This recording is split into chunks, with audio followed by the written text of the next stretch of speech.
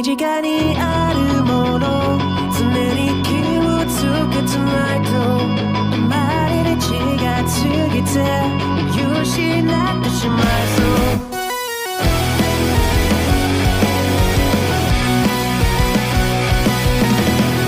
あなたが最近体験した幸せは絶えないですか恵まれすぎていて思い出せないかも今ここにいるこ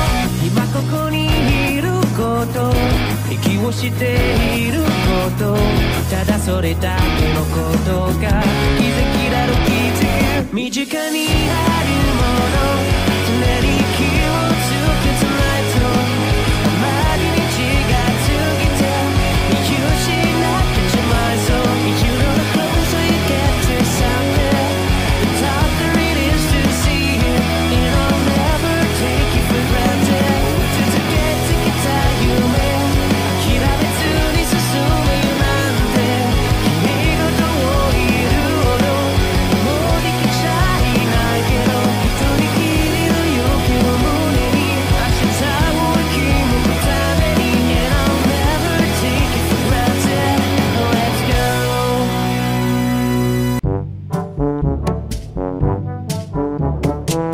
few moments later.